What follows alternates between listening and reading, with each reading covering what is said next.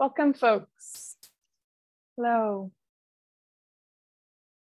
So while we can't all see you as you come in, we're happy you're joining us here today for our Brampton Artists in Residence program. This is the first program of its kind, and we're excited to be here with our friends in the library. Uh, my name is Katie Belshaw, and I'm the programming coordinator with the Brampton Arts Organization. For those of you who may not be familiar with us at the Brampton Arts Org, we are an organization that's incubating within the city of Brampton, set to become our own independent not-for-profit arm's length organization in 2024. Our focus is on growing, celebrating, and advocating for the arts sector in Brampton and offering programs like these ones that support yourselves as artists and arts organizations uh, living in Brampton. And this program has really been a long time coming, so we're super thankful to our friends at the library for making this a reality for us to be able to host, host this at the Brampton Four Corners Library. Um, before we get into the session today, perhaps I'll just do some brief introductions. So I have two colleagues on the line today, Michael Vickers, who is our senior program lead at BAO. So I think folks can uh, see you, Michael, if you want to give a quick wave, feel free to say hi. Hi, everyone thanks so much for being here. We're really excited to kick off this program with this info session. Um, my pronouns are he, him, and yeah, look forward to um, going through everything together. And then we also have from the BAO team, Amanda Folds, who is our new education and outreach uh, program coordinator. So Amanda, uh, if you'd like to say a quick hi as well. Hi, everyone. Um, my name is Amanda. My pronouns are she, her. And yeah, I'm very excited for this program and I'm looking forward to um, this webinar. Yeah. Okay, and then from the library team, we have June Dickinson, who's the manager of marketing and communications. June, who I think names show up as Henny right now, but if you'd like to say hello. Hi, everyone. I'm June Dickinson, and my pronouns are she, her. I'm the manager of marketing and communications, and we are so thrilled about this program and welcoming the artist into our Four Corners branch uh, in downtown Brampton. Okay, and then lastly, we have on the line with us today as well, Henny Musa, who's the manager of programs and outreach with the library. So Henny, if you want to say a quick hello. Hi, everyone. My name is Henny. I'm really excited to be here. My pronouns are she, her, and I'm looking forward to today's presentation. Okay, wonderful. And then I believe we also have in the audience today the branch manager for Four Corners Library, Neil. Um, and we may get to hear from Neil as we get to the Q&A portion of our session later on. So a brief overview of um, the session today. We're gonna review the program in full. We're gonna go through what the program supports, the timing, who can apply, talk about the space itself at Four Corners, go through selection criteria. We'll do an overview of the application as well, do a virtual field trip to review the application form together, and then we'll head into our Q&A and discussion portion. So between Michael and myself, uh, we'll probably take about half an hour of talking at you, a bit of a lecture, um, but I encourage you to think of questions along the way. A few housekeeping notes. We are going to be using the Q&A box to field our questions today, just to help us get organized. So you should be able to find the Q&A box on the bottom of your Zoom screen. And if folks are having any issues accessing it, I believe the chat is open. So feel free to reach out to Amanda and she can facilitate getting a question into the chat if you need. Um, so that'll be helping keep us organized. And I think we can jump in and get started from here. So Michael, I'm gonna pass it over to you to talk through the program in general. Thanks so much, Katie. So I guess off the bat, it's really just talking broadly about, you know, what is this program for and, and what sort of initiatives are we looking to, to, to bring into the library through this program and, and sort of, you know, what is this program all about? So this program is open to Brampton-based artists, arts organizations, and collectives working in any artistic discipline. So I think that's really important to stress. This, this isn't just for visual arts. Um, you could be a writer, you could be a performer, you could be a musician, you could be a dance troupe, you can uh, be a, uh, an ad hoc sort of collective or an arts organization that would like some space. Um, it's really, we try to keep it as broad and open as possible. So um, the key there is being being from Brampton and really focusing on undertaking a community-focused artist residency, which I think is something worth stressing. Is that you know this program is really not just about offering a space for you to um, to make work and to sort of quietly use as a studio space for for the three months, but hoping for it to be a project that involves the community, engages the community. You know, um, we'll speak more about like open office hours, things like that. Um, and so the location will be at the Four Corners Library branch, which is right here downtown. Um, that's the only location for what it's worth. If you're wondering if other locations are potential, unfortunately not this time, but we hope that maybe in due course we can expand this. Uh, and so the artist fee slash honorarium is $8,000 total. And that is to cover all of the different associated costs with you being there, making sure the artists are all paid professional fees if you are involving other folks. Um, and that's the total amount.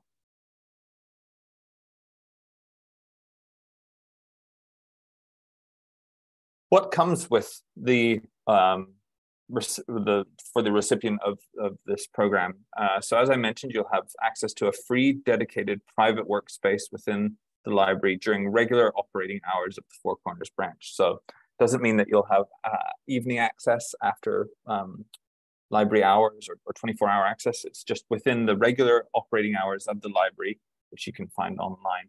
Um, you'll have your own dedicated workspace. Um, to clarify, and you'll see pictures as well, that workspace is a room. So you'll essentially have a room within the library to call your own as a studio, as an office, as a community space, um, whatever you'd like to, to, to use it for. Um, it's key that you'll be holding open public office hours. So within your uh, pitch, essentially, I think it's really key to mention that you're you're talking about how you, the public will be able to see what's happening in your studio and in your space uh, and engage with it in different ways. Um, a requirement as well is to speak to how you'll be delivering free public arts programming. So again, uh, although it's very important for artists to have space to just quietly sort of work on your practice, a big part of this is how are you going to be um, offering things to the community as well that that the public can engage in. So they're able to see what you're working on, they're able to to get involved, um, and and ultimately this is an opportunity to explore your practice in a community setting and engage with the library and its surrounding neighborhood. So I think there's a lot of potential for um, engaging with folks that are already coming to the library, bringing new audiences in. Obviously, there's all sorts of activity that's already happening at the library. How can perhaps overlap? I think one of one of the many reasons that we're like so excited to work with the library on this is that they're very open to new ideas um, and and experimentation. So that's something to consider here too. I think as you're all seeing, libraries are changing from what you maybe have pictured as this very quiet, hush um, place to, although there's a place for that, you know, it's really a community hub. So how does your project sort of speak to that? Next slide.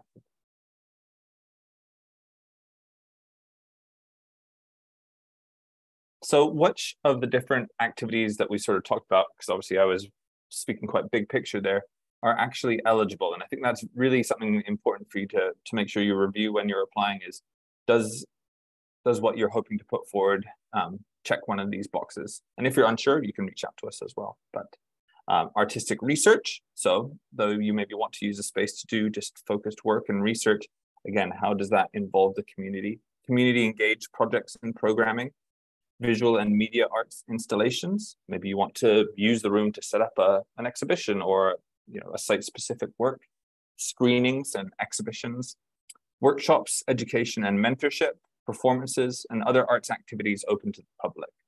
Um, permanent artwork isn't eligible for funding through this residency program. So I think that's something to stress that, you know, ultimately we'll be using the space for these three months and then cleaning up like we weren't there before. So this isn't really an opportunity for um, proposing, say, a mural or something like that in the space. It's really about coming in, using it as your own, and then and then cleaning up and, and, and we're off after the, the three months. Um,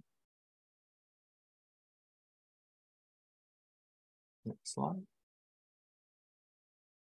Okay, so in terms of timing for the residency, the residency itself will take place between September, October, and November. And uh, the schedule of the residency itself is going to depend on what's going on with the branch, uh, what capacity there is there, what support's needed for your project, what the scope and scale of whatever it is that you may be proposing. So that's all flexible and you'll be working with both us at BAO and uh, branch manager and other Brampton Library staff to determine what schedule is going to make sense. Um, and that will be something that will be developed right off the bat with those folks. Go to our next slide. And in terms of who this program is for and who can apply, it's open to professional artists, not-for-profit arts organizations, as well as arts collectives. And as Michael was saying earlier, that's all disciplines. So you don't just have to be a visual artist, you can be literary arts, writing, visual arts, performing arts, music. There's tons of opportunities. We welcome interdisciplinary and multidisciplinary work as well. Um, and we'll review here, I believe the next slide is uh, what the heck is a professional artist and, and sort of why are we using that term? And although this definition is for professional artists and comes from Ontario Arts Council, we're sort of using it um, a bit interchangeably for arts organizations as well. So what the Arts uh, Council um, determines as a professional artist is someone who has developed skills through training or practice and is recognized by artists working in the same discipline as themselves, uh, in addition to having a history of presenting work and someone who also seeks payment for their work. And so we also recognize within this definition that there are systemic barriers that folks face in terms of limited opportunity for mainstream presentation of work. And there is some flexibility when the selection panel is reviewing applications. So I wouldn't have this definition scare anyone off from applying. Um, okay. So there is specific eligibility criteria that we have for both individual artists and arts organizations and collectives. And I believe Amanda is linking either in the chat or the Q&A box for folks right now, uh, a link to the program guidelines, which details all of this information that Michael and I are going through right now. So you're able to refer to it later. We'll also be emailing all the slides out and the recording uh, of the presentation. So as an individual, uh, unfortunately, undergraduate students are not eligible to apply to the program. You have to be located in the city of Brampton. Um, and for us, that means we're following some of the similar uh, criteria as the Advanced Brampton Fund, but we will need to see proof of a residential address within the city. And you have to have been located in Brampton for a minimum of 12 months prior to the date of the application itself. In terms of criteria for organizations and collectives, Similar to individuals, the organization or collective needs to be located within the city of Brampton. And only one to two members of the organization can have access to the space at the library. This is just to ensure that there's adequate space for folks to come and engage with the work that you'll be doing and really just have one lead go-to person for the organization in charge of the residency as a whole.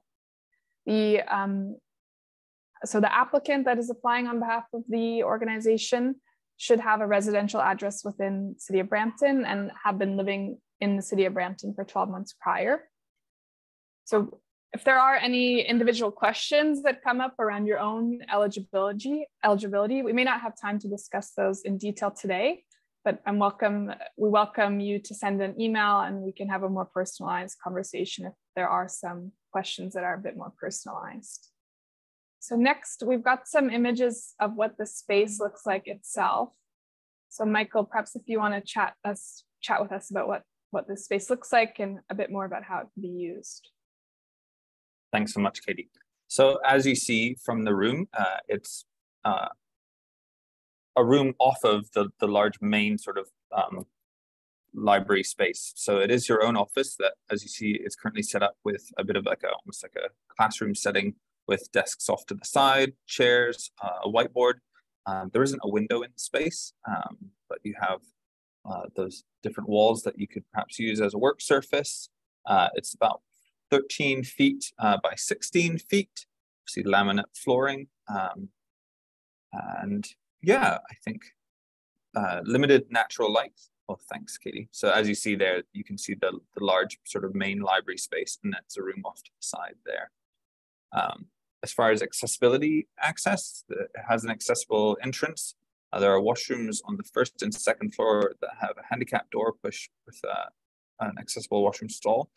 Um, this is on the second floor, uh, but there, I'm sorry, I misspoke earlier. There is no um, handicap door push button to operate the workspace, but it can be propped open. Um, and if there are specific accommodations or um, supports that you would require or, or would be of support to you, you know, please do make sure you, you mention that in your application as well.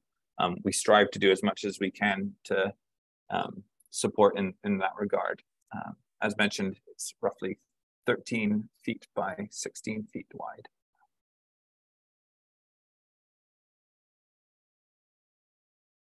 Okay, so now moving on to selection criteria. And all of this information again is on the program guidelines that you can refer to later. But the key pieces of information that the selection panel is going to be looking at when we're reviewing your applications are artistic merit, impact, and viability. So we'll be able to unpack these ideas a little bit further as we get into the application itself and look at how do I demonstrate artistic merit? How do I talk about my impact in a clear and concise way? But roughly, um, we're looking at well, what you've proposed and how it's suitable for the room itself, for the library, for the neighborhood that the library is in. What's the quality of experience that you're proposing for the participants, for the folks that are using the library, and what are the benefits to the broader community as a whole, and more largely Brampton. Um, based on the information that you provided us with, what is your ability uh, to carry out the proposed project? And then another important piece is the budget of the $8,000 in terms of how you're spending it. Does it seem feasible?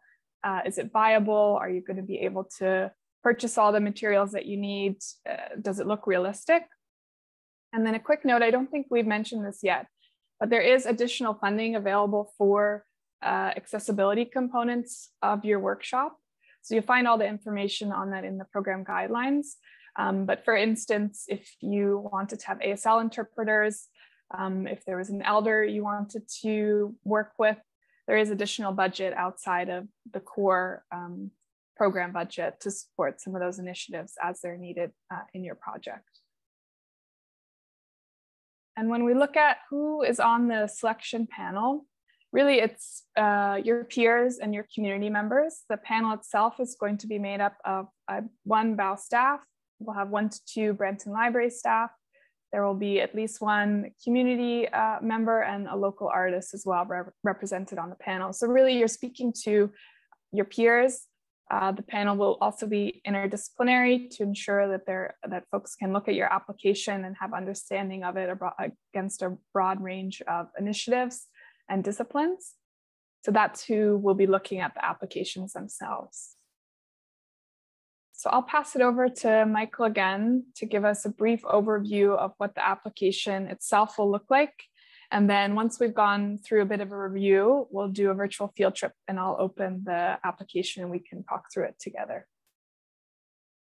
Thanks so much. So for this sort of broad overview, as Katie mentioned, we'll go through in through the finer details in a, in a moment.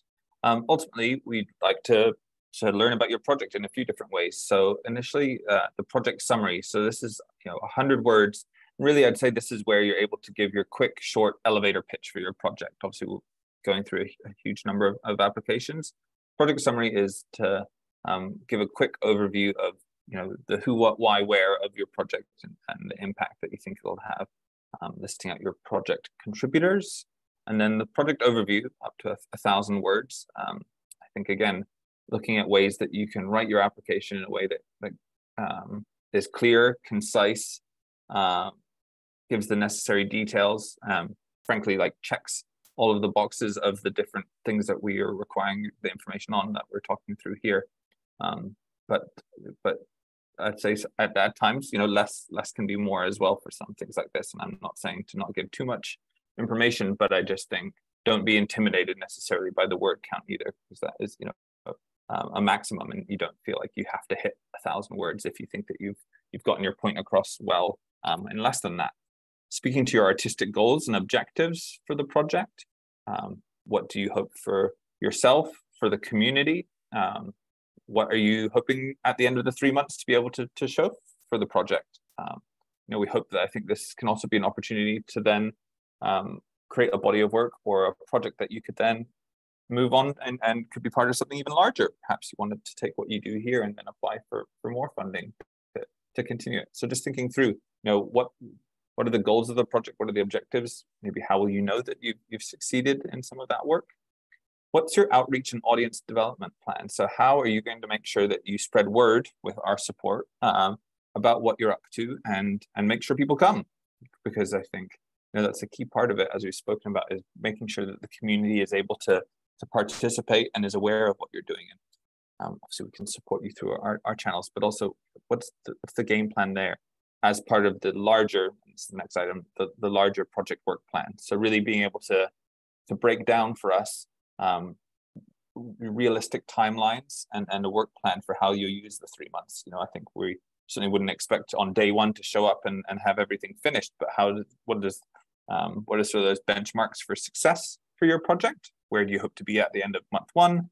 Where in month two, and then at the end? Um, project budget, as Katie mentioned, um, as detailed as possible, a breakdown of how you'll spend the money. I think things that we've touched on that are important to us are making sure that um, folks are paid fairly. Obviously, in the arts, it can often be uh, a culture where artists, um, yeah, are working for exposure, and, and we are, really want to make sure that artists are paid proper uh, artist fees. We use CARFAC. We've heard of that as a guideline for how much folks should be paid for different different kinds of work, and we can share a link to that in the chat as well. CARFAC's artist fee guidelines. Um, I think it's also worth saying that um, ensure that you include yourself in that and we want to make sure that you you know don't think you have to be afraid to to speak to how much you'll be paying yourself um, from this project and uh, because that would be a red flag for us if we realized actually that that you're not compensating yourself for your own time and involvement in the project uh, an artist or organization statement again sort of the elevator pitch for who you are and or who your organization is um, a biography of three sentences an artist resume something that Katie touched on as well as this term sort of professional artist um, can be intimidating for folks and we certainly don't want that to be the case. So your artist resume could be uh, a statement of experience. You know, if you don't necessarily have a professional CV, it could just be speaking to where you've exhibited your work, what you'd like to do, uh, you know, where um, yeah, what your, your sort of professional history is. Um, but don't be intimidated if you don't have a professional CV. And then any additional information. So perhaps there's uh, a few ex- extra things that you wanted to add in for context or for clarity or i think you know it's really important to put yourself in our shoes and if there are things that you think we might be confused by how can you make that clear or how can you give us the information so that we don't need to be concerned or or flag items of worry key things to keep in mind and i've touched on a few of these clear and concise language that answers the question if we can't understand um, what exactly you're hoping to achieve with the project, it's very hard for us to, to say yes to it. Um, and so I think the more that you can keep things simple, um, there's no need to use overly academic language um, to try and um, impress anybody. Frankly, like we're all we're all here to to learn more about what the project is exactly, and, and feel free to to spell it out for us as clearly as a following the word count. So again, um, going way over the word count uh, only hurts your application. It doesn't help it. Um, help the selection panel quickly understand your idea and, and don't leave us with any questions or confuse confusion. So really, again, there'll be a few different people at the table and you would want to make sure that all of the different questions that could come up could be answered.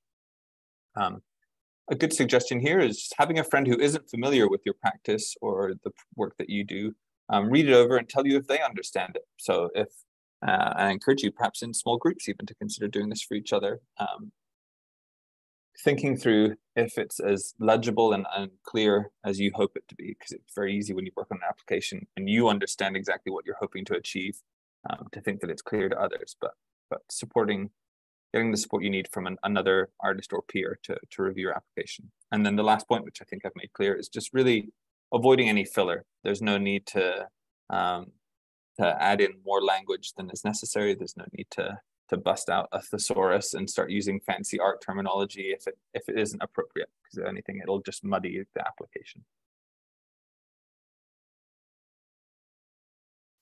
Uh, is this me still, Katie? Sure, if you want to go. Okay, yeah, I was yeah. about to, and then I wasn't sure. Uh, so who is on the selection panel? And and oh. some questions. Oh, that's uh, we already ran We're through that. It'll title. be a but some be, questions yeah. ask, ask yourself for the application anyways. Yeah. Thank you. Um, but just to quickly touch on that again, as Katie mentioned, it'll be a mix of um, community members, uh, fellow artists, BAO staff and, and library staff. And if you think through all the different things that we'll all be looking for, I think that's important to consider. Uh, questions to ask yourself. Um, who is the project serving and supporting? So uh, is it uh, something that we can clearly see the community benefit in, or is it something that doesn't look like it's actually supporting many folks other than just the applicant? Um, I think it's fair to say that that the that we we hope for for an impact that's deep and meaningful. It doesn't have to be necessarily broad, but but who is it serving and supporting, and, and is that clear to us? Why is the project needed here in Brampton? So we know that you know, um, for example, we created this project because there's a lack of creative space in Brampton. So we came up with this project because we know it's so needed. So why is what you're doing important in the Brampton context specifically? Why would it make sense for Brampton Arts Organization and the library to support the program? I mean, on both of our websites, you can see our values, you can see our mission, you can see uh, our mandates. So how does what you're proposing link with what we're trying to do and trying to achieve? Um, I think that would obviously be a strength who is the audience? Who do you want to um, participate in the program, to view the program, to, to participate, and and and you know who are you trying to reach? And then I guess lastly, like why are you the best person to be putting forward a project like this or to be doing it? Um, why do you make the most sense to be doing this? Again, these are the sorts of questions that we hope you ask yourself because the questions that we would be asking is, is this person really the best for that? Um, how does their experience relate to, to this? Um, and those are the sorts of concerns that, that would come up in the conversation. Support materials. So uh, we ask for up to three links to previous work. Uh, and please make sure that you open up your permissions. You'd be surprised at how often um, we're sent links to a Google Drive or to a Vimeo uh, that we can't actually open. And with this many, you know, sort of applications that we'll be receiving, won't necessarily have time to continue to follow up asking you to, to change the access settings. So three links to previous work that um, that you are sure is public. Again, that's something that you could send to a friend in advance and say, hey, can you just make sure that you can open this and view it and everything looks looks good. Make sure you check it yourself. Um, if, we open up the files and actually they look super pixelated, you're only doing your own uh, self a disservice. And obviously support material is a really important part of an application.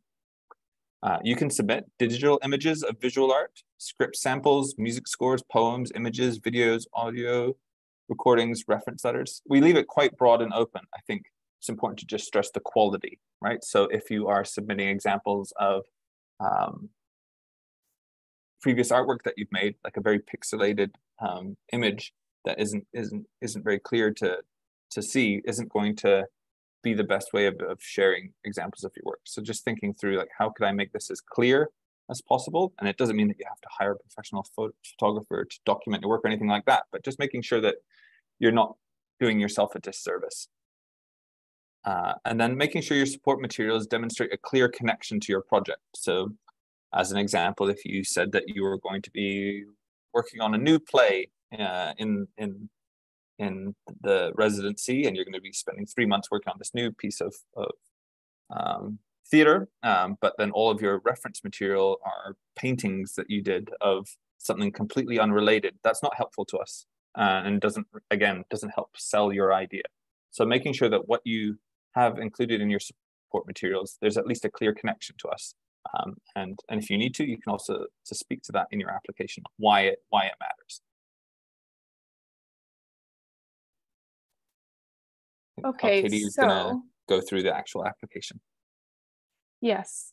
So take a, a brief pause here and I'll stop sharing my screen and share my web browser. We'll walk through the application and take a look at the program guidelines together. And then once we've done that, we'll move into the Q&A portion of the session. So I'm gonna stop share here. And I will reshare my screen.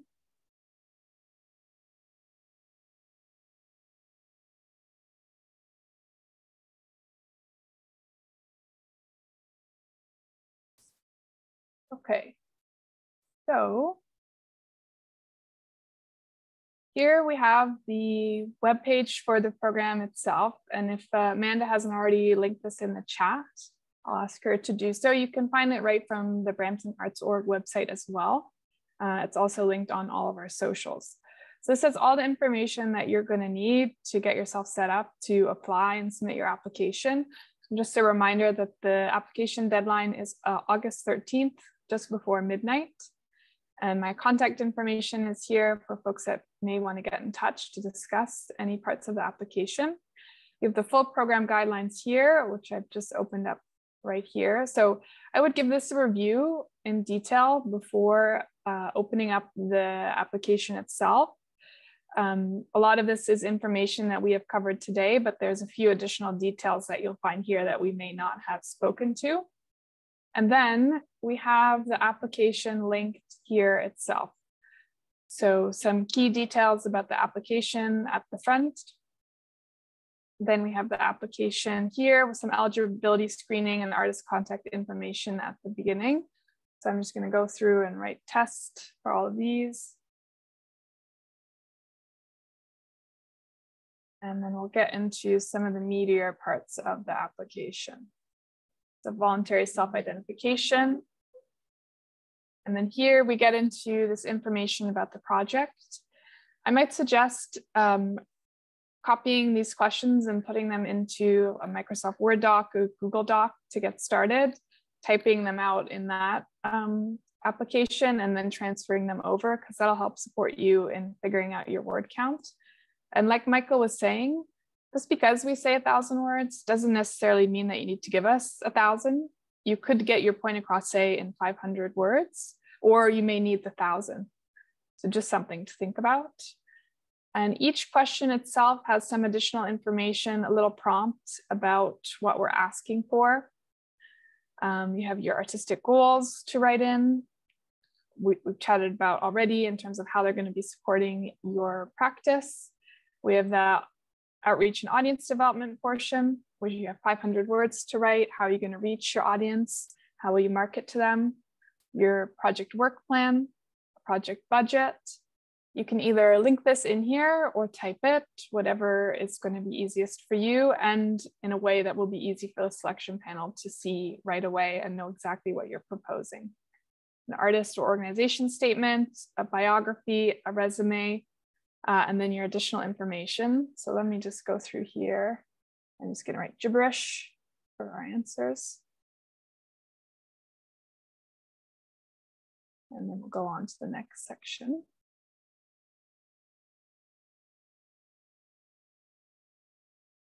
And then I believe in our next section, we have our support materials. Yes. So here is where you're gonna link to us your support materials. Unfortunately, Microsoft Forms uh, doesn't allow for um, uploading files. And within the City of Brampton structure, Microsoft Forms is the platform that we use. So that's the reason for the links. So I would ask you to link them here. Uh, we don't necessarily need three samples. If you think two samples are enough for us to have a holistic view of your project and what you're proposing, um, that, that's totally appropriate. And then you have some declarations here, um, just to let us know that you've read and uh, agreed to the regulations and terms that we've outlined in the program guidelines, um, that both as individual or organizational applicants, your organizations or yourself are located in Brampton. You are the artist named in the application and that you do have creative and financial control to submit the work. And so once you've submitted the application, uh, you will receive an email notification that it's been sent in and we are giving ourselves two calendar months to reply, although you'll likely hear from us a bit sooner. We just want to make sure that we have time to get everything organized, set up our selection panel, and get back to folks in a good way. Um, so I'm going to stop sharing my screen here, and we will pull up the PowerPoint again. and then we can get into our Q&A section. So I believe the last pieces on the PowerPoint are contact information as well as some resources that can be shared. So let me see if I can change. So here we are. So there's my contact information for folks to follow up um, also a note there that the only avenues through which we're able to receive um, questions and comments is via email. Uh, we get a lot of messages to our Instagram and through other social platforms, but we ask that you please reach out via email. And then the last slide that I'll share here is just a few resources that folks may find helpful as you begin your application. So the artist producer resource by Generator is uh, has lots of budget templates, project work plan templates. Um, the organization is primarily based around performing arts, but the templates on this website are applicable for, for everyone. We also have a previous power hour we've run on writing artist statements and bios. So you'll find the recording there if you'd like to take a look at that session. And then a link on sharing Google Drive files if that is the platform that you'll be using that could be of help. So I'm going to stop sharing again. And perhaps what I'll ask is um, Michael, uh, Junior, Henny, is there any anything else you'd like to add before we hop into Q&A? No, all good. You covered everything. Okay. So what I'll ask then is, Amanda, if you want to open up the Q&A chat box and maybe bring us questions one by one that Michael and I and uh, our friends at the library we can begin to get, get to. Sure. Okay. Um, I'm going to try the answer live button. Let's see what that does. Um, okay. We have a lot of questions about I guess like eligibility for artists and what um, community members mean in terms of regions. So um, someone's asking if there are other artists involved in the project, can they be outside of Brampton? Okay. Well, I would say that primarily the artists that are participating in the program and especially the, the lead artist needs to be located in Brampton as a definite. I would say that the majority of folks involved in the project would need to be Brampton based. And if there was a reason to involve another project contributor from outside, just clearly demonstrating in your application why that makes sense, why that skill set is uh, bringing something additional to the project um, that would warrant themselves needing to be from outside of Brampton. Okay, and then so similar to that question, someone's asking if um, the community members that are listed, do they also, um, are they only allowed to be Brampton residents? I guess. Maybe Nashid, you can confirm uh, or provide a little bit more clarity if you meant like the community that you're serving or the community is like the artist. Mm -hmm. So I think similar to, to the question we just got around can uh, different artists outside of Brampton work on the project.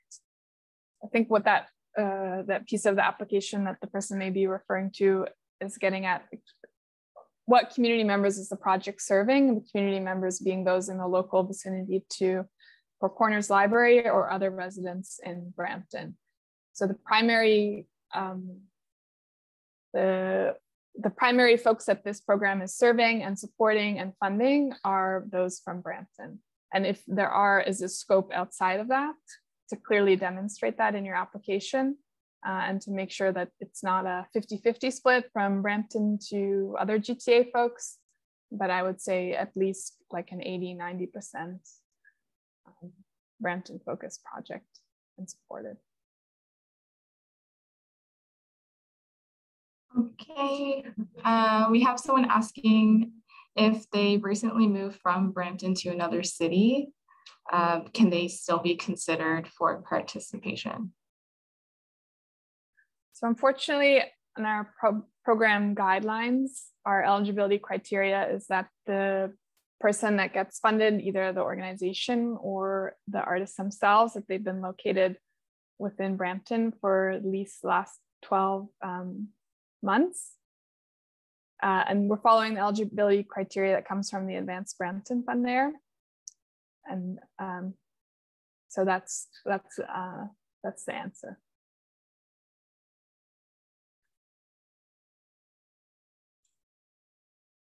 Um, I'm gonna go back to the top. All right, so um, this is more for when you're in the residency and you're conducting public programming. If someone is a writer, um, how can they engage the community while being in the space? Is it like reaching out to uh, folks to have a reading or researching human experiences? I think it could be both. Go ahead, Michael. No, I'll let you go for it. I just want you to be on the hook for all the answers. Go ahead. Uh, it could be both. It could be both. Research doesn't necessarily need to be um, like tangibly output driven, if that makes sense. It could just be you supporting your practice a bit more internally.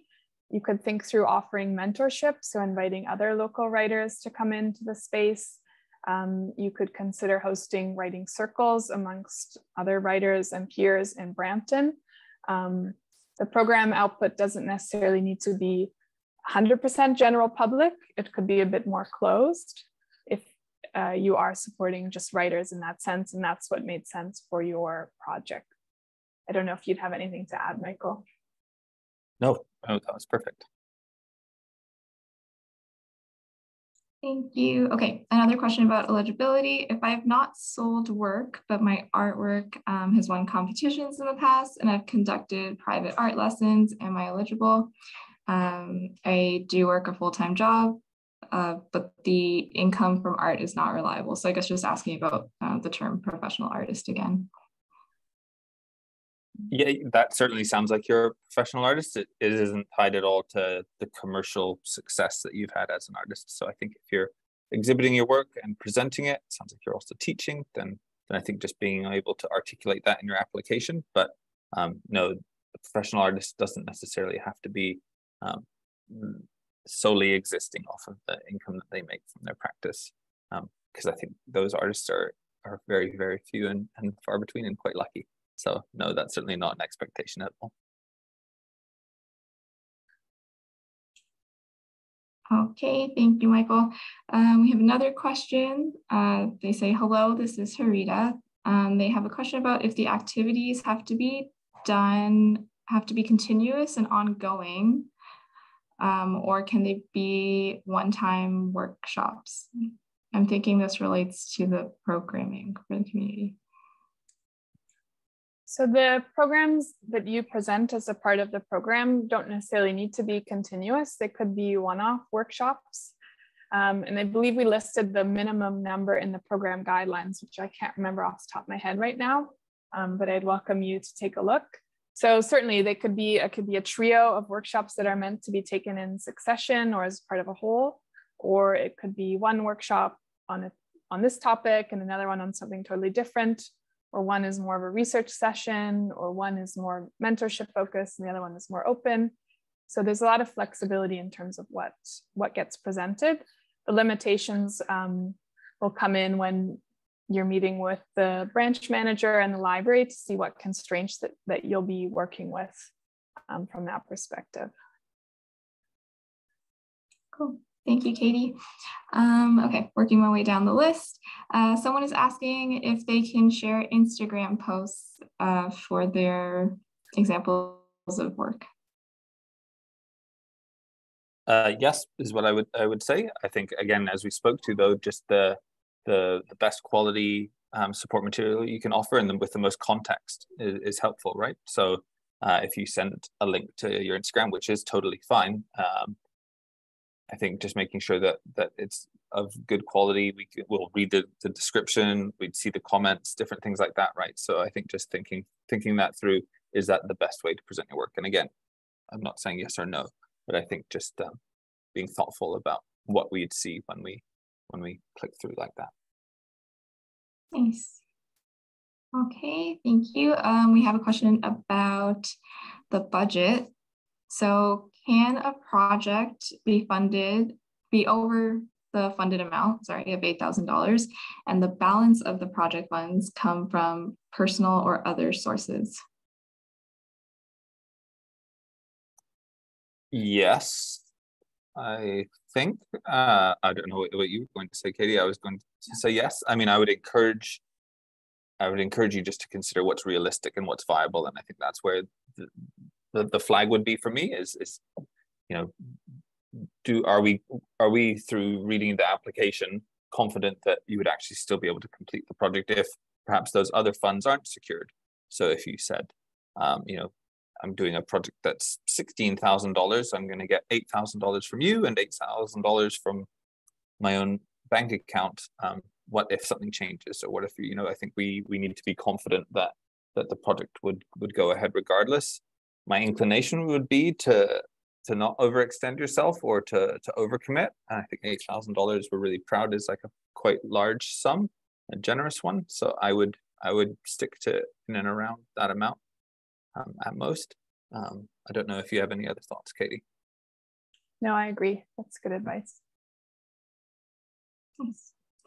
Okay, thank you. Um, another budget question, since we're on that. Uh, they say, hi, Val, can the budget include providing honorariums to community members? Yes, absolutely. I think that's something that we would we would want to see and, and hope to see. And I think if if you're involving other people in your project and they're not being compensated, uh, that would be a, a flag, frankly, for us, unless you're able to speak to why they'd be volunteering and not being compensated.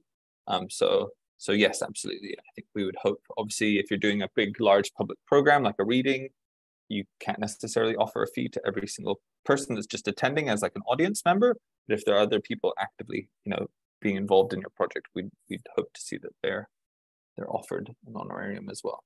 And in the application, we speak more to to you know what those amounts should or could be, because um, I can understand that, that could be daunting as well, trying to figure out well how much is fair, what would we want to see them being paid, and again, more of that information is all just in the application. Thank you. Um, I'm looking through. Okay, uh, for office hours, um, are office hours open for whenever the library is open, or are there specific times?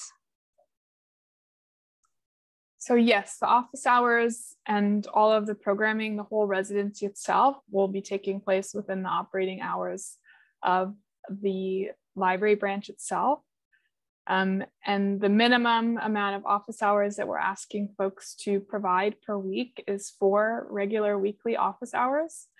Um, and these office hours are for um, you to speak with library customers who are interested in your project, local artists, um, community members, any other folks that may be curious uh, of your project itself. And so we leave that to you to determine how you want to spread out those office hours. It may change when you get in the space itself or as you get your project going. Um, but that's what we're asking of folks. Okay, thanks, Katie. Um, working my way down the list for three links to previous works. Uh, for an art organization, does that include my own personal works or student works? So for an arts organization, the links um, that may make the most sense, it could be if your project uh, that the arts organization is leading and you're the key lead applicant is going to be um, like, uh, I think it was paintings you said, Amanda, that they? Um, this they're just saying um, for the links that when you're providing links to previous works, um, if you're part of an art organization, does that include your own personal works? I see. Okay. So I would say that could make sense if your organization and your discipline are aligned and you as the one of the leads for the organization are going to be doing a bunch of programming based on your discipline. And that would give the selection panel um, confidence that you're the right person to be leading some of the activities that you propose that may make sense. I think it would also make sense, and the selection panel would want to have information on the arts organization itself. So, what are some documentation that the arts org may have? Has the organization previously run, run programming? Uh, is there any annual report or um, success stories from the organization, previous events that may make sense to be uploading as some of the information? So, perhaps it may be a bit of a balance so it could make sense to submit your personal work. I would say only if it was aligned with the organization itself and the project being proposed. Thank you. Um, okay, I think we reviewed this, but someone's asking how many uh, art programs are you trying to hold in that duration? So I would need to pull up the program guidelines. So perhaps I'm going to have to come back to that mm. question itself. Um, okay. But it's up to four office hours, and I believe it's two or three, a minimum of two or three um, programs that are being held. Um, but it would also depend on the scope of your project too. So there could be some wiggle room to discuss with us at BAO um, and the library as well. So I'll come back to that and uh, take a closer look at the program guidelines. Thanks for, for pulling that up, Katie. I think if I may just add to that, I think it's important to consider how that programming is a part of your application because I think for the selection panel, if it seems like something that's just sort of checking the box and saying, okay, well, in my first week of the residency, I'll do two workshops and then I'm done for the, the three months. Uh, unless there's a specific reason for why it's so limited in scope and involvement with community for your project. Um, I think we would be hoping to see a more sort of sustained or, or regular um, public programming. Um, is that, would you agree, Katie? Is that fair to say? Yeah, I, I agree. And I see in the program guidelines, we have listed um, three uh, touch points, three engagements, three programs. Um, but like, and like Michael was saying, we're curious how those are aligned with the project as a whole, depending on the scope of what you're proposing as well. I think some consistency is always helpful for the community. So if you say, I'm going to be doing, and, and you put your own parameters on on what you feel is reasonable but on a certain day every week is when you'll have your open office hours so folks know that they can come and visit you and engage with your work then or a regular sort of time for when those programs are can be helpful Thank you. Um, our next question, someone's asking if the $8,000 grant is per artist or a total distributed for all. I'm thinking so would, they're, oh, sorry, go ahead, Michael. So that's for the the complete project, the entire amount. Um, yeah, so that would include everything from artist fees, honorariums, materials, um, additional support uh, materials or items, or, or, yeah, the complete project budget totals around eight thousand. Um, it would be amazing to be in a position to be able to offer multiple eight thousand dollar artist fees, but but not in year one. Okay, thank you. Okay, our next question. Currently, I am running an art program with Summer Company and I'm looking for a space after summer, but I'm only 17. Can I have a guardian apply for me? Hmm. I think technically, yes. That guardian would then become the one who's responsible for the program as a whole. Um, and so they would be the one uh, committing to the declarations and to scope of the project, and they would need to be the key, the key lead with the project alongside um, yourself. That's what I would say. I don't know about you, Michael. Yeah, I would agree. I think it would just again be it would have to be clear what the, the reasoning is and it and and the guardian being involved in the project again, if it just seems like it's it's checking the box to be able to be eligible, um, then I don't think it would necessarily make sense. Um, I'd encourage you, as a side note, if you're looking for space um, at all in the city, um, checking out the creative space catalog that we have on the Brampton Arts.org website. So we have over 200 different um, locations where you can do arts and culture activity across the city. Uh, if you are looking for somewhere to host a project that you're interested in, and libraries can be can be great for that. See the Brampton Entrepreneur Center downtown is another option. So that's a, a, side note, but strictly as far as the eligibility goes, I believe, yeah, if the Guardian were to apply, we would just want to to see that there's a clear connection between them and you, um, and it's not just a way of of being able to apply. Nice. Okay, thank you. Um, I think we spoke about this as well, but someone's asking if you can speak more to the hours the space is available and the hours the artist is required to spend in the space and the hours they are required to spend with the community. So I'm going to toss this one over to June or Henny to let us know if they know off the top of their heads the library hours of Four Corners. Yeah, sure. for sure. Do you want to take ahead. it, Drew?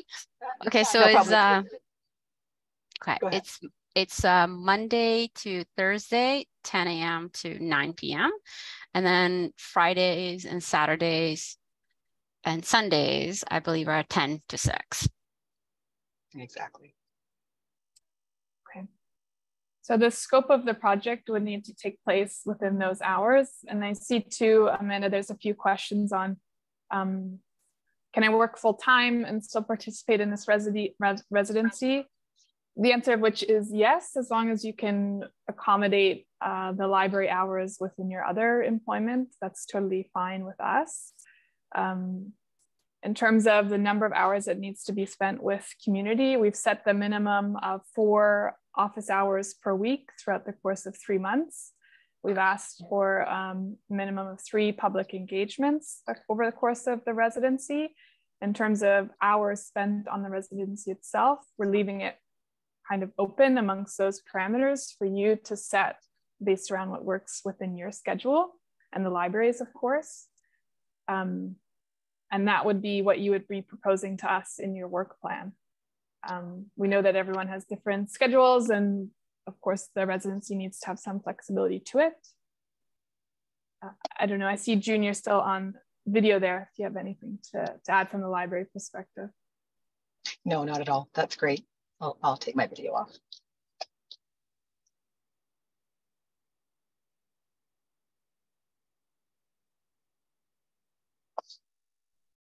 Okay, are we okay to move on to another question? Yeah, if yeah. you think we can answer that, yeah. Awesome. Okay, so um, we have a question. Are artists and collectives able to work with library staff to facilitate workshops for community for the community during the course of the residency, leading up to an exhibition inside the library? So perhaps I'll put June and Henny on the spot again to begin to answer for us You can fill in some blanks. Sure. There is an exhibition place within the library. The library does have, the Four Corner branch has a community art gallery wall that can be utilized. Um, and I guess it would really depend on the type of uh, project you're, you are proposing to do. Katie and Michael, please feel free to add more. Yeah, that's pretty straightforward. Yeah. Okay. Thank you. Um, for supporting uh, documentation for the application, are we allowed to submit a referral from a mentor? Definitely, yeah. Please do. That would be a good one to submit amongst uh, like one of the three. We're certainly open to that. Nice. Okay. Um, if, another one. Oh, sorry. Go ahead, Michael. I'm sorry to interrupt you there. I just if if the referee is um, comfortable, including their contact information would be lovely within that as well. If there happens to be something that relates necessarily to, to the project, if we have any questions, uh, if I just mention if, if possible to include that, that would be great. So we can do any follow-ups with them if we needed. Yes. Um, okay, uh, we have another question for the library. Do we have access to the library's resources? can they be used? We actually welcome that.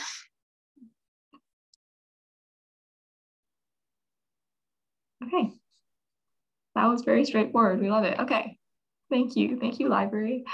Um, okay. Uh, someone has a question. They're asking if only one artist will be holding residency during this um, residency period. Will there only be one? Yes, we'll be granting one uh, one eight thousand dollars to one like an artist, collective, just one happening throughout this time. Cool. Thank you, Katie. Um, someone is asking for studio space and working in the library. Are we able to work with various materials of art, like spray paint, for example, um, or alcohol, inks, resin, or is there a limit to what kind of media we can work with? So we have worked with resins and obviously we need to look at it in terms of the ventilation and whatnot. I believe the room is carpeted, so I would not recommend spray painting. Uh, but again, it's something that we could figure out how to make it work as long as it doesn't damage the room at the end of it. And it has to, the room has to be intact at the end of the uh, resident, residency program. Okay, thank you. Sorry, Amanda, I recognize that we're at one o'clock now. Yeah. So perhaps for us as a panel, if we're able to stay for the next 10, 15 minutes, we can get through the rest of the questions. And for folks that need to drop off, feel free to do so. And then you'll have the recording afterwards uh, with the questions from us.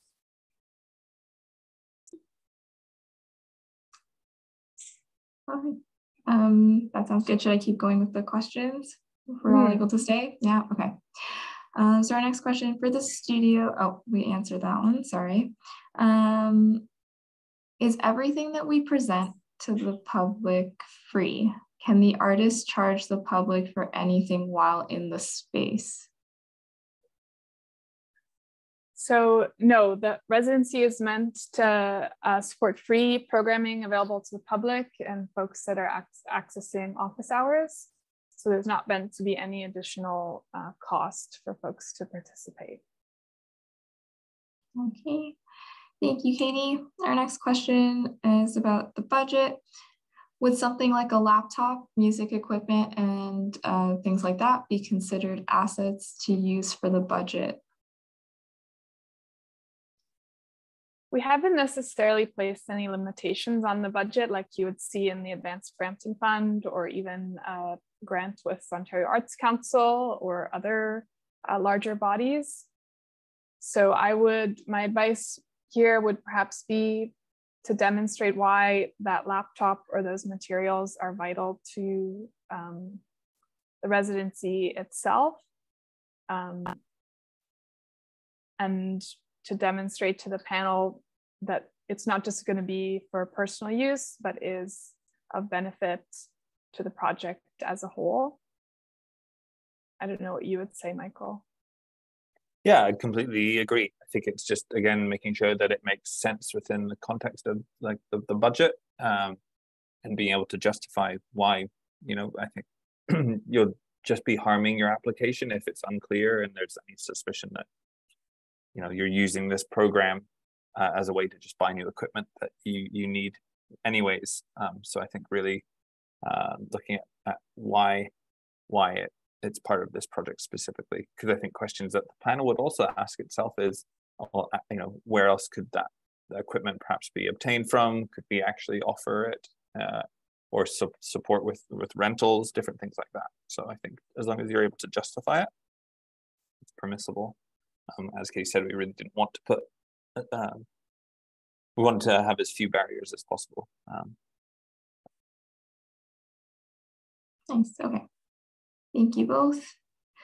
Um, next question, can you be a Brampton-based artist applying, uh, having to make artwork about Brampton and its community?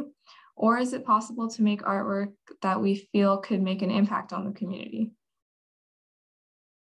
both are certainly possible, both make sense. For us, it would just be demonstrating why either one works for you. The output of it doesn't have to just be about Brampton or uh, Flower City or any of that. Um, it's really just the impetus for the project is just to be celebrating and supporting folks in Brampton and providing opportunities and access to art for folks in Brampton. So it doesn't necessarily mean that the project has to be about Brampton. So either of those options would be possible. Nice, thank you. Um, okay, this is kind of, I guess, a question for the library uh, from Nicole. She says, hello, as a musician, I'm wondering about the sound restrictions. If I was to run a two to three day audio recording workshop, would there be anything I would need to be aware of in terms of volume? Just trying to figure out if the library has the capacity for that and if it's appropriate. Thank you. Okay, I know that we're in the process of currently uh, finalizing the recording studio. This project is a little bit outside of the recording studio, so so we would definitely have to kind of look at the sound level that will be produced out of it.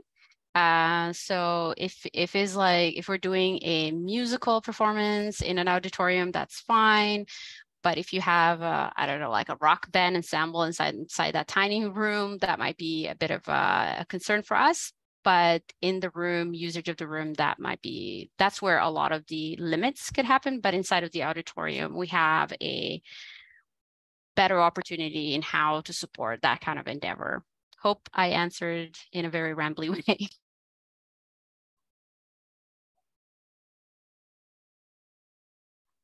Yeah, thank you. Okay. Um, when you send artist bios and resumes, etc., do we type it in the application or just send a link of the documents if it's long? I guess this is more about the application process. I think a link is likely easier on our end for the selection panel, um, but you could drop in uh, just text as well if you needed. But I would suggest if you're able, a link is perfectly appropriate. Thank you. Um, I think we already talked about this, but someone's asking if there will only be one project approved or if there were more projects approved, would that $8,000 be split across multiple submissions? Uh, no, we'll be selecting one project for the $8,000 amount. Okay, sounds good. Um, next question, can we store or lock the studio area when we're not there? Yes, this it, it is a locked room, so that's correct. Okay, thank you. My next uh, sorry question. Uh, my project focus is something that is in its beginning stage, so I don't have uh, do not have media related to its focus as yet. How do I provide examples that help the panel understand the scope of the project? Can I just provide work that prove my abilities as an artist? Or does the uh, summarized plan in my application suffice? So I think the question we got earlier about a reference letter, letter from a mentee, that could be a good uh, piece of material to include um, just a note from someone you previously worked with or is uh, respected as an artist in the community, um, hearing from, from someone like that in support of your work could be an option. I would say, yes, you could include previous work that you've done as long as it is related or that you've provided context as to why it's related. Um, and we do welcome applications from folks that may not have a full portfolio. So we definitely don't want that to be a deterrent. Um, I think that's what all that's what I have to add for now. Okay, thanks, Katie. Uh, next question, if I have a project that will take longer than three months, is that okay? No, the project scope needs to be completed within the three months of the residency itself. Okay. Um, this is a more general question to, I guess, provide some context about the project, but someone's asking, what are the reasons why an artist would like to do a residency? Um, I'm happy to, to go. Yeah. Okay. uh, I think um, the value of having like a dedicated space to to make and share work and to involve community. I think there are a lot of reasons um, why to pursue a, a project like this for me that would be the number one is just that we are you know part of this is addressing the, the real lack of of studio space and creative space in brampton so um, having had a studio before and run an organization that offers studio space i just know that having a spot to go to to focus on your work could be so beneficial um, and and a place to call your own to make work for a few months um, especially if that is perhaps a little bit removed from your regular surroundings. So I think also, you know, this being within uh, a library setting somewhere, um, somewhere different, somewhere where you'll be, you know, actively engaging with the public and community members, and obviously making work that involves them. So for me, that would be an appeal. Um, I think part of this project as well is is the the artist fee component, and I think also making sure that you know you're actually getting paid uh, and uh, for your work and and not um, you know not creating at a cost to yourself but we're being actually supported and and uh, valued uh, i think so often in the arts. You know that that isn't necessarily the case and that's why we tried to make sure that we had uh, a good budget to put forward. So those would be a few reasons why i would consider applying.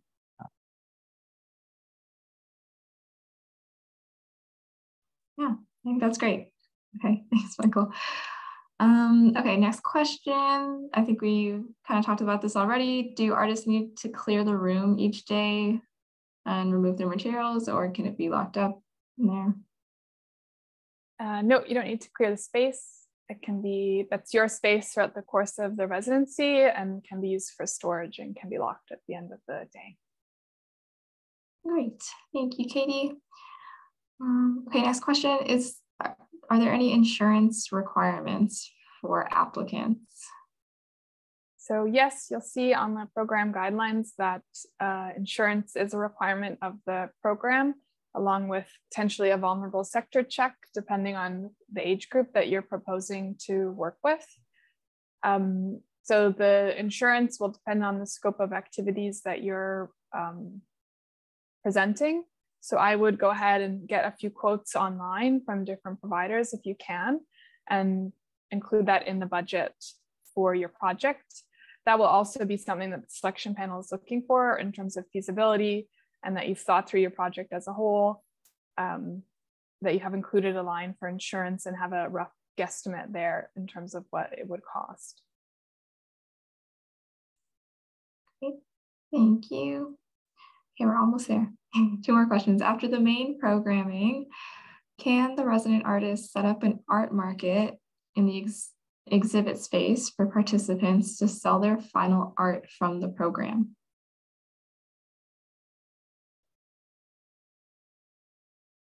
So I'm going to leave that with Penny or June. It could be a possibility. I think it depends on the capacity of the library and if they would be able to support that. Yeah, I don't know. I think is again, this goes back to the concept of capacity. Um, I'm more likely to recommend uh, joining existing markets. There's often a lot of markets that happen around that time. Um, so right now at the moment, we don't have any things in plan to create a market uh, around in November, December. But again, it's something that we would have to look at it based on capacity. June, did you want to add anything else? I, I, totally agree. I think that you know we're creating awareness for a new program, and then if there's that opportunity to continue, potentially with other organizations in the city, um, and just flagging that is the Artist in Residence program and the final project, and here are some opportunities to engage and potentially purchase.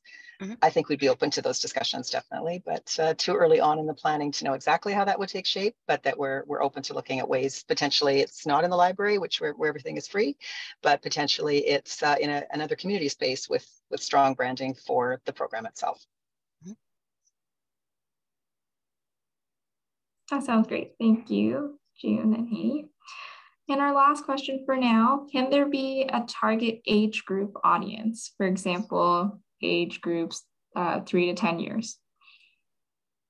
Yes, we welcome folks to have a target age group or audience like that and welcome applications um, with those targets. Um, the key thing would be to explain why. And if that's the only group that you're going to be engaging throughout the whole residency, what would be the impact of that? So we don't necessarily want applications that are going to do it all for everyone because that's not possible. So it's really just um, explaining uh, how you're going to have that impact, why you're the right person to be working with that age group. And then if you are working with younger audiences, the library may require a vulnerable sector check as well. Okay, well, I think that's everything. Yeah. So Thank you folks for sticking with us. If you're still here, if you're watching the recording later, thank you for sticking around. We're all very excited to see this program get off the ground as the first one and potentially to continue running it in partnership with the library. So we're excited to see what applications we get and what gets selected. And so thank you all for being here and we'll say goodbye. Have a good rest of your day. Bye everyone. Thank you. Bye, everyone. Thank you.